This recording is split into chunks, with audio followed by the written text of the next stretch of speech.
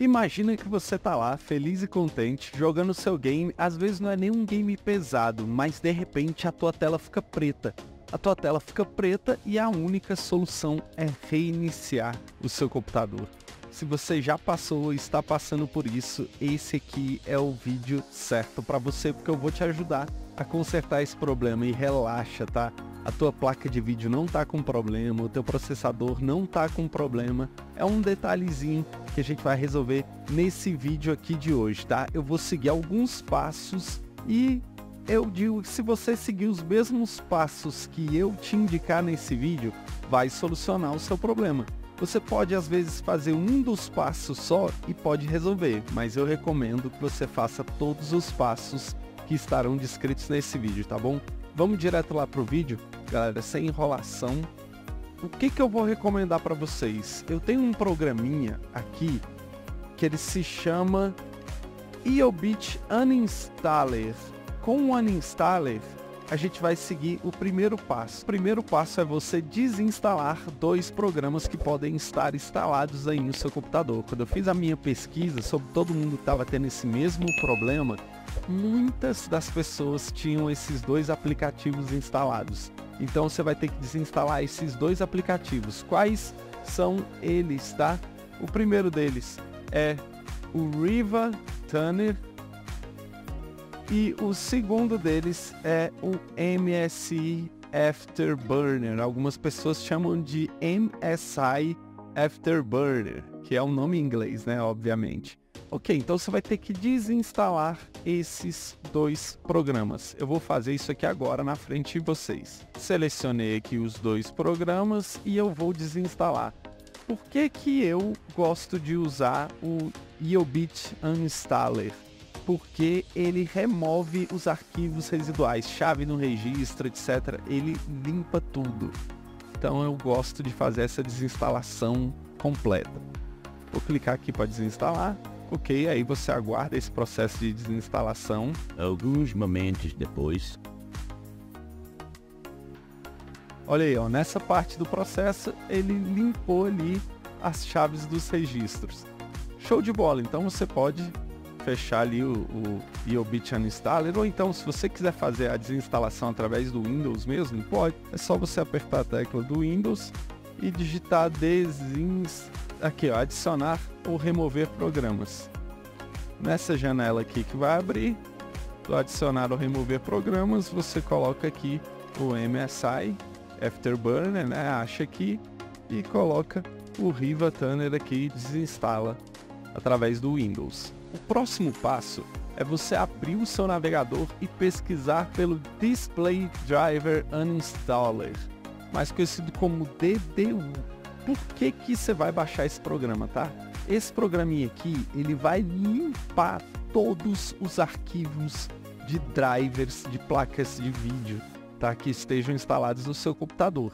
Eu particularmente, minha placa de vídeo é uma RTX 3070. Com esse programa você desinstala tanto os arquivos da Nvidia, né, GeForce, quanto os da AMD. Vou clicar aqui no Download Mirror USA. Uh, o download vai começar aqui automaticamente. Ok, vou instalar nessa pasta aqui mesmo. A minha pasta de downloads. Vou descompactar aqui mesmo. Ah, Paguru 3D DDU, deve ter ido lá para cima aqui. Guru 3D DDU, vou executar esse programa, tá? Porque ele vai extrair aqui dentro mesmo, extraiu DDU, você vai executar esse programa, tá? Display Driver Uninstaller.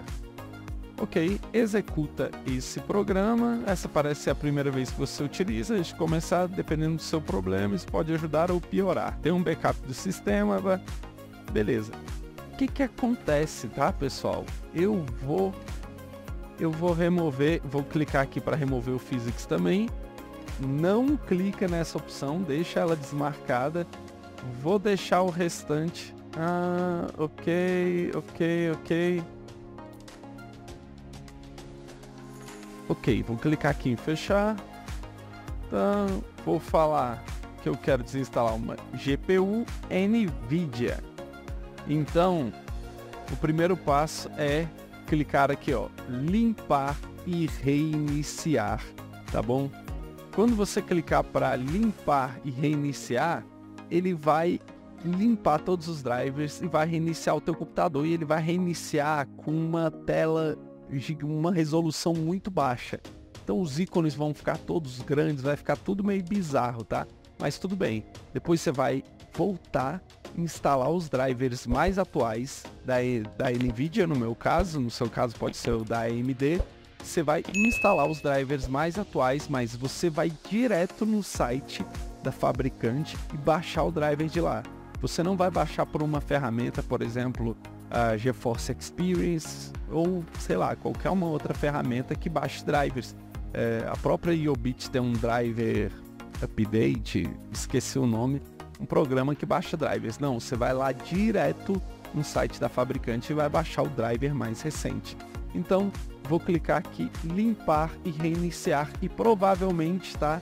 É, eu vou ter que voltar daqui a pouco com a gravação de quando o meu computador for reiniciado. 20 minutos depois. Ok, então vamos lá. O próximo passo é você abrir o seu navegador. Você vai lá no Google e você vai digitar NVIDIA Latest Driver. No meu caso, né, porque a minha placa de vídeo é uma RTX 3070, então eu vou no site da NVIDIA. Se o teu caso é AMD, você vai digitar AMD Latest Driver. Ok, então vou botar aqui NVIDIA Latest aqui ó, drivers oficiais e confere se é o site da empresa mesmo, tá? Não cai nessas coisas esquisitas, quer ver? Vou achar aqui ó, TechSpot, LifeWire, não, vai no site da fabricante. Então vou lá nos drivers oficiais, vou selecionar aqui qual que é a minha placa de vídeo, a minha é uma 30 Series, né, que é a 3070, meu Windows é o 10 mesmo, 64 bits o driver Game Ready, português Brasil, vou mandar procurar. Beleza, ele achou aqui o driver mais recente, né? Vou clicar em baixar, esse download inclui driver gráfico e o aplicativo GeForce Experience e tal, beleza. Vou baixar aqui. Vou botar aqui nos meus downloads, ok. O que, que acontece, pessoal? Provavelmente esse problema de apagar a tela né, no meio de um jogo Pô, comigo já aconteceu até durante live. Eu tava no meio da live, do nada apagou a tela e eu tinha que reiniciar o computador. E detalhe, tá? Só funciona reiniciando no botão. Não funciona você dando um Ctrl Alt Del, por exemplo, é, abrindo o gerenciador de tarefas. Não, você tem que ir lá no botão e reiniciar o botão do reset, né? Ou então desligar o computador. É, vou aqui pro data de modificação, é isso daqui mesmo.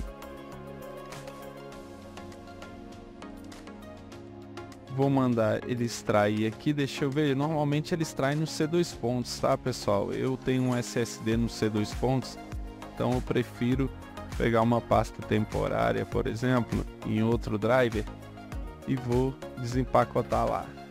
Uma hora depois. Ok, então agora ele está abrindo aqui o instalador do driver.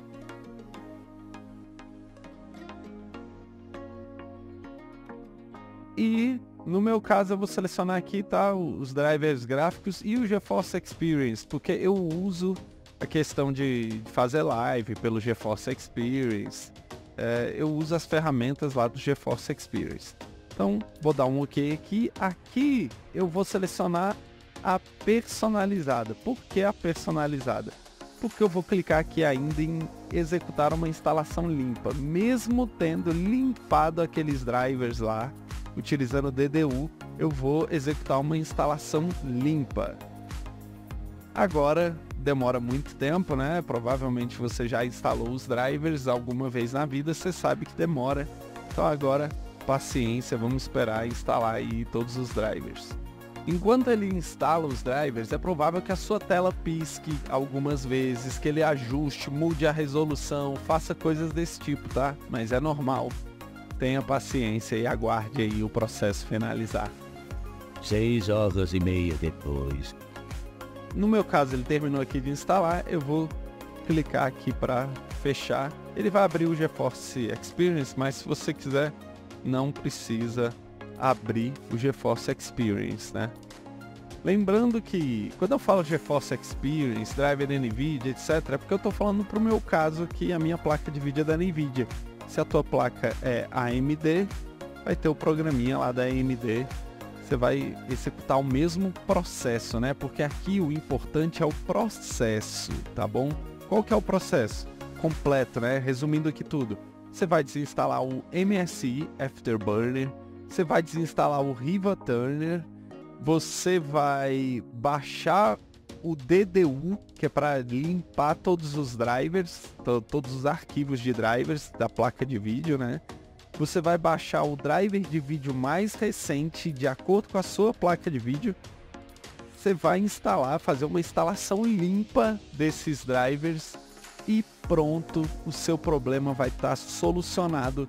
Sua tela não vai mais apagar no meio de uma gameplay, no meio de alguma situação.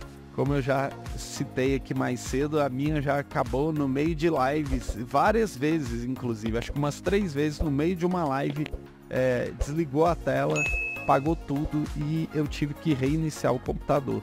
Então fazendo esse passo a passo aí que eu descrevi, você não vai ter mais esse problema. Deixa eu te pedir uma coisa antes de acabar o vídeo, tá? dá um like nesse vídeo aqui, porque a maioria das pessoas assiste o vídeo, vai testar, funciona, só que elas não voltam lá no vídeo para dar um like, para falar que funcionou. Então eu peço que você dê o like agora e se você for testar essa solução, comenta aqui embaixo que você testou. Se você tiver um pouquinho mais de paciência, tiver um coração, quiser ajudar, é, testa, funcionou, volta aqui e comenta, tá bom? Então é isso, um grande abraço, bom gameplay para vocês e até o próximo vídeo.